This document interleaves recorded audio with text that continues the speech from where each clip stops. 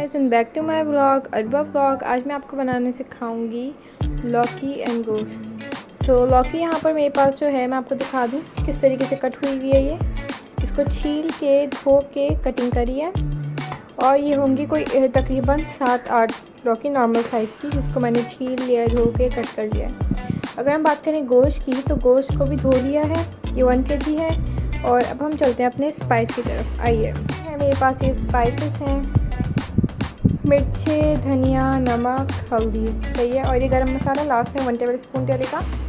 तो ये हमारे पास के स्पाइसेस हैं और बाकी मैं आपको बता दूँ जो वेजिटेबल इसमें डालनी है। मेरे पास जो है, ये टोमेटोस मैंने ले लिए हैं फ़ाइव क्योंकि ये दो और ये तीसरा बहुत बड़ा है। इसलिए जो है मैंने बस पाँच लिए हैं। आप कुछ लेने, अगर आपके पास नॉर्मल साइज़ है तो आप छः या सात तो ज़रूर लें। बाकी मेरे पास तीन हरी मिर्चें हैं, जिसमें से दो मैं चॉप डालूँगी, एक को मैं साबुत डालूँगी। और चले आइए हम पकाने पकाते हैं। चलें। यहाँ पर मैंने मीडियम फ्लेम ऑन किया है एक को मैंने ऑन किया हुआ है एक मेरे पास ऑफ़ है। सो so, ये कुकर है और कुकर पे मैं अभी कुकर को ले लिया है फ्लेम रख दिया है। साथ में मेरे पास ये वन कप ऑयल है। इसको मैं डाल देती हूँ। वन कप ऑयल मैंने ऐड कर दिया है देखें।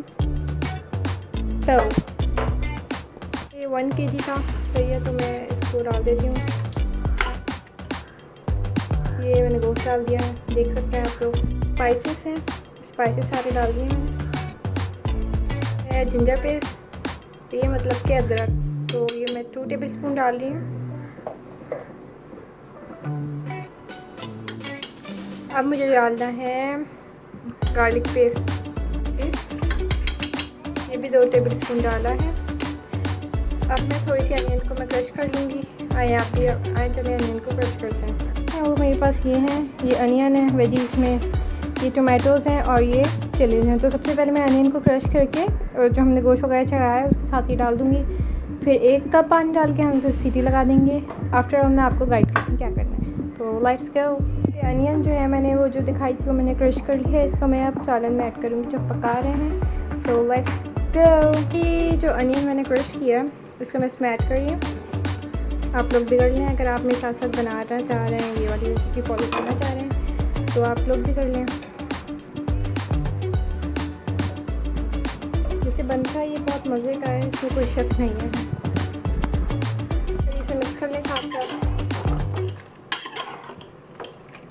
थोड़ी देर भूनने के बाद मैं इसे सीटी लगाऊँगी। चलें, जब तक थोड़ी देर भूनना है तो आफ्टर एडिंग दिस अनियन मैं इसमें डालूँगी वन कप ऑफ़ वाटर तो आइए हम वाटर ऐड करते हैं। वाटर ऐड करना था, मैं इसमें एक one cup of water add किया। ये कप था, देखें।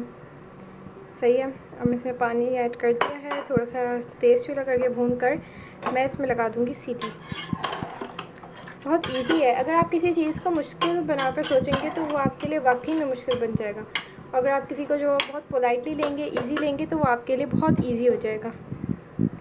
ये जो मीट है, ये गोट मीट है तो गोट मीट के लिए हम फोर मिनट्स की सीटी लगाते हैं, सही है? और अगर आपका जो है काओ मीट है मतलब कि गाय का गोश्त है तो उसके लिए जो है आपने सीटी लगानी हो टेन मिनट्स के लिए, क्योंकि जो होता है काओ का जो होता है, वो मुश्किल से मेल्ट होता है, गलता है सॉफ्ट होता है, और जो गोट का होता है, वो बहुत कम टाइम पीरियड लेता है फेस लेता है गलने में। थोड़ा सा इसको भूनेंगे, फिर मैं सीटी लगाऊँगी। जो व्यू है वो इस तरीके से अब मैं इसको कैप कर दूँगी। कैप करने के बाद हम फोर जब तक सीटी बोलेगी तो हम फोर मिनट तक वेट करेंगे। सो लाइट्स गो कर दिया बट ऊपर की ये चीज़ अभी नहीं लगाई सो इसको भी मैं लगा देती हूँ। ये और इसकी ये सो गाइस सीन ये है कि मैंने फ्लेम को थोड़ा सा हाई किया है ताकि जल्दी जल्दी बोले। जब ये बोलेगी फोर मिनट वेट करेंगे, फिर हम इसके कैप को ओपन करेंगे। सही है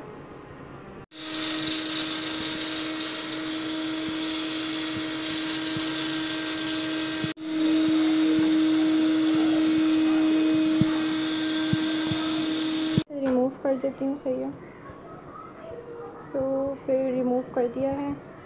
देख सकते हैं इसकी शक्ल अब कैसी हो गई है। तो अभी भी हल्के हल्के बॉयल कर रहे हैं। हालाँकि स्टोव जो है वो ऑफ़ है। इसको थोड़ा सा मिक्स कर लेते हैं। आइए देखें किसी इसकी वो हो गई है।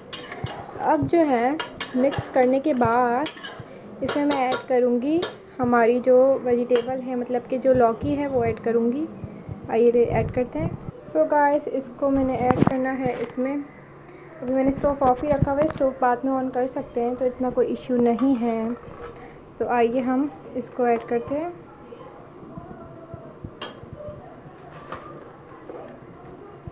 फिर दोबारा हमने सीटी लगानी है। सीटी जो लगानी है, अब पाँच मिनट के लगेगी।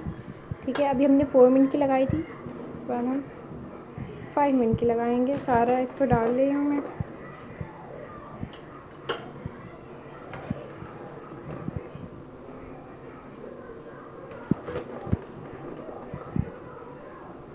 तो साथ में डालें नहीं सिर्फ़ डाल के साथ चलाएँ भी ताकि वो मिक्स हो जाए।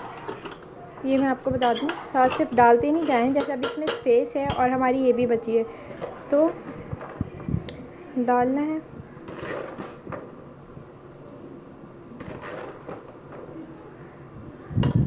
इसका जो है मीडियम पर ऑन किया है देख सकते हैं एक जो है वो क्लोज़ है और एक जो है वो थोड़ा सा वो है।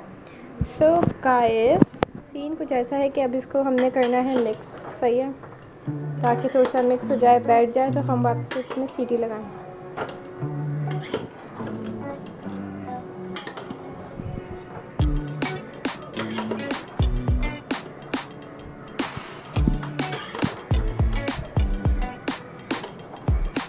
अच्छा तो ये सीन तो हो चुका है हमारा। अब मैं इसमें वापस सीटी लगाऊँगी। सीटी लगाने तक हमने इसमें जो है कोई भी ऐसा इशू नहीं है कि अब इसमें पानी डालना है जस्ट बिकॉज़ ये अभी अपना पानी छोड़ेगी जो हमारी वेजी है ये अपना पानी छोड़ेगी सो so, हम इसे वापस क्लोज़ कर रहे हैं। वापस क्लोज़ कर दिया है and the flame is full on मतलब कि सारी जो है फ्लेम खुली हुई है ताकि जल्दी जल्दी ये हो और जल्दी जल्दी हम पका के फायर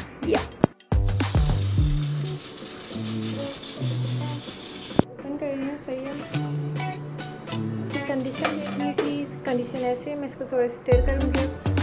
देख लेते हैं इसकी कंडीशन कुछ ऐसी है। काफ़ी हद तक जो है ये हमारी जो है हो चुकी अब मैं इसके साथ ही जो है टोमेटो डाल दूँगी। मैंने चॉप करके रखे हैं, मैं आपको दिखा दूँ ये है कि ज़्यादा मुश्किल नहीं बचे बिल्कुल अब लास्ट लास्ट चल रहा है। तो ये जो है टोमेटोज जो मैंने आपको दिखाए थे, पाँच थे, कुछ बड़े थे, कुछ छोटे थे, उनको मिला के छोटे मैंने सारे चॉप कर लिए यहाँ पर मैंने आपको तीन ग्रीन चिली दिखाई थी। इसमें दो मैंने ऐसे चॉप कर लिए हैं। एक बिल्कुल सॉलिड है, बाकी थोड़े से मेरे पास जो है पुदीने के मतलब जो मिंट लीव्स होते हैं, उसको मेरे मेरे पास सूखे हुए रखे थे, मैं स्टोर करके रखती हूँ क्योंकि अभी मेरे पास अवेलेबल नहीं है मेरी डाली अगर आपके पास फ्रेश है तो मैं आपको यही रिकमेंड करूँगी कि आप फ्रेश मिंट लीव डालें, ठीक है? बाकी गर्म मसाला ही लास्ट में डलेगा। ये सारे जो प्रोसेस है, ये लास्ट का है। फ़िलहाल अभी हमारा काम टोमेटो का है। तो लेट्स करूँगी। अभी मैंने फ्लेम को ऑफ़ रखा हुआ है। को डालने के बाद मैं इसकी फ्लेम जो है वो ऑन ऑन कर रही हूँ। फ्लेम मेरी ऑन हो चुकी है एंड इसको मैं मिक्स कर देती हूँ सही से। अब बस समझे जो भुनाई होती है। वो करनी है हमसे। तो भून रही हूँ। आपको भी भून रहे हैं अगर आप मेरे साथ साथ बना रहे हैं तो फॉलो करें। बस इसको भूनना है, जब तक हमारा रोगन अलग नहीं होता टोमेटो सही से मेल्ट हो जाते गल नहीं जाते हमें इसको भूनना है। सही अब सीटी का भी काम जो है, वो ख़त्म हो चुका है हमारा। जो हमने दो लगाई थी, बस वही लगी थी। ना बस हमने इसको भूनना है। सो अच्छे से भूने टेस्ट स्टोव को दोनों को ऑन कर दिया है। सही है, और इसको अच्छे से भूने देखिए हाई है जो स्टोव है हाई है। और इसको अच्छे से हमने भूनना है, जब तक ये अच्छे से पक नहीं जाता। इसको भूने फिफ्टीन मिनट तक मैं भूनूँगी, फिर आके देखते हैं इसकी कंडीशन क्या होती है। सही है? क्या सूरत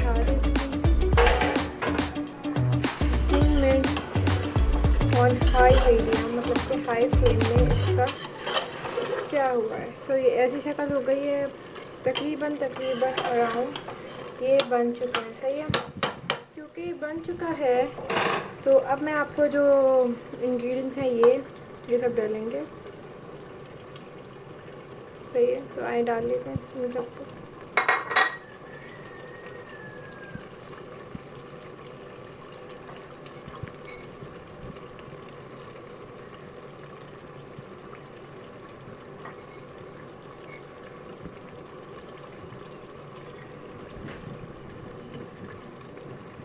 चिलीज डालनी है जो हमने चॉप कर दी थी।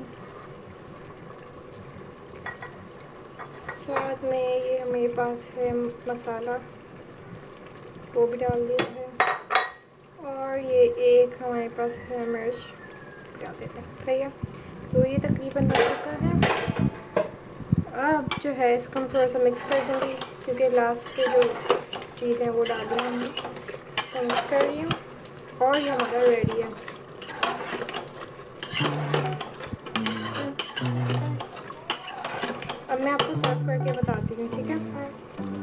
फ्लेम को कर ऑफ़ बिकॉज़ ये रेडी तो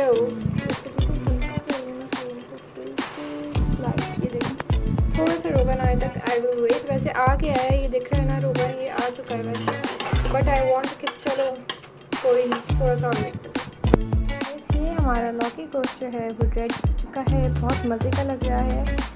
तो आप भी मेरी रेसिपी ट्राई करें और बेल आइकन को क्लिक करें सब्सक्राइब करें, मेरे साथ जुड़े रहें।